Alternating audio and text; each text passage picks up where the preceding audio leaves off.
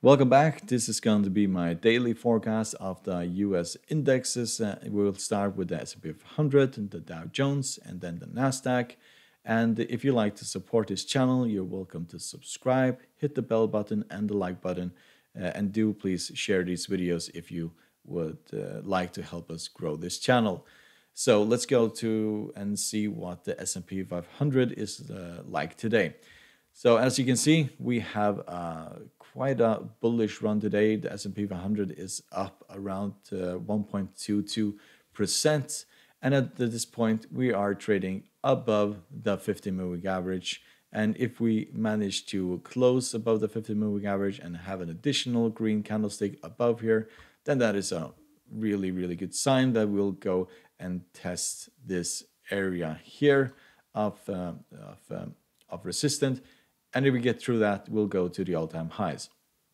We'll probably see a lot of choppiness as we did uh, earlier today, mainly due to the uh, horrible presidential debate yesterday.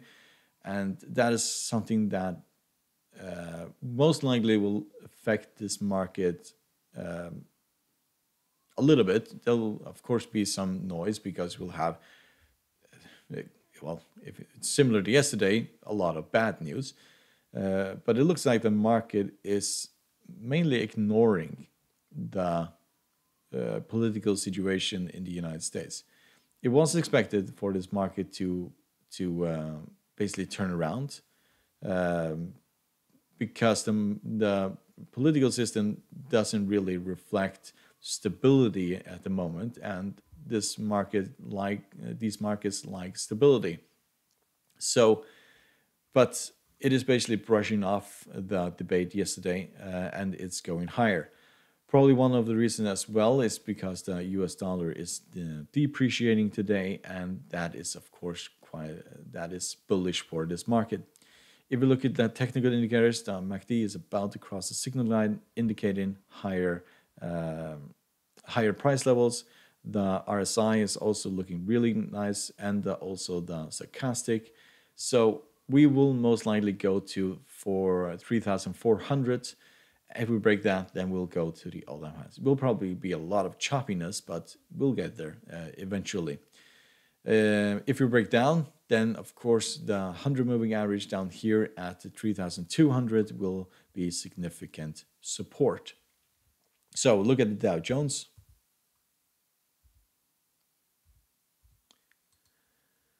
Very similar here. We have broken through this uh, trend line, which I wrote yesterday, and there's no point of in basically looking at that anymore.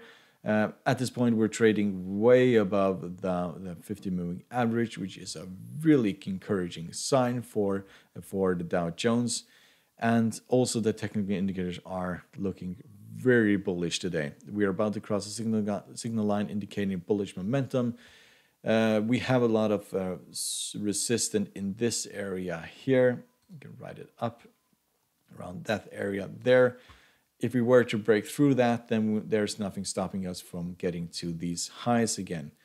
We are still trading below the all-time highs of, uh, of 30,000, nearly 30,000.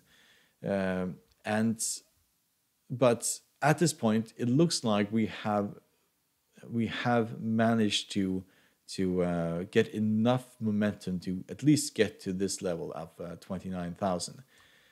Um, if we get to 30,000 at the same time, probably uh, this looks like like uh, we are basically going much higher. This looks like uh, the lows of this market at the moment. Um, and also the technical indicators are indicating that we are going to these highs.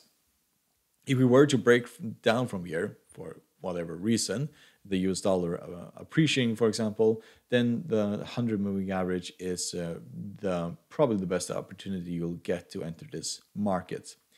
So we look at the Nasdaq. It is also trading above the the um, 50 moving average so it has become uh, support now rather than resistant the technical indicators are looking really um, nice for the nasdaq At this moment, we have some resistance in this area here of 11,500. If we were to break through that, then we'll go to the all-time highs. If we were to break down uh, from uh, this uh, 50 moving average, then we'll probably go towards these lows at uh, um, 10,670. And then we also have this 100 uh, moving average right underneath. It was expected for the Nasdaq to go all the way down to 10,000 level, but um, the market has basically canceled that. It doesn't look like we are going to break down uh, significantly more uh, at this point, and we will most likely go a lot higher.